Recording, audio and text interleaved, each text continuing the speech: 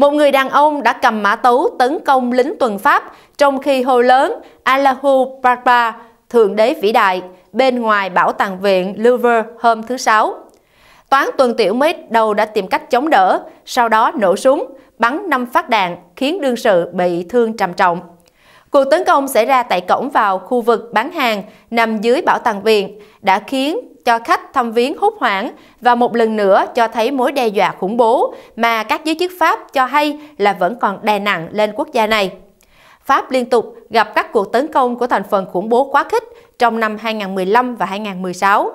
Một giới chức cảnh sát cho hay là kẻ tấn công mang theo hai túi đeo lưng và có hai mã tấu. Nguồn tin này nói rằng hung thủ nhào tới toán tuần tiểu khi họ nói với ông ta rằng không được mang túi vào trong khu bán hàng nằm dưới bảo tàng viện có danh họa Mona Lisa.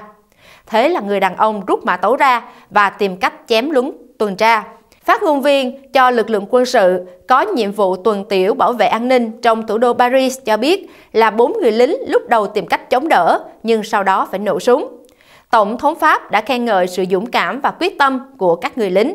Có một người lính bị chém vào đầu nhưng chỉ gây thương tích nhẹ. Các công tố viên chống khủng bố hiện đang mở cuộc điều tra, hiện chưa có các chi tiết rõ ràng về kẻ tấn công.